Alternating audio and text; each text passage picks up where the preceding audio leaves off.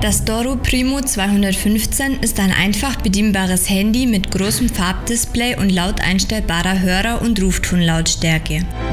Auf der Rückseite des Gerätes befindet sich eine große Notruftaste. Zusätzlich zur integrierten Notruftaste verfügt das Handy über eine sogenannte ICE-Funktion.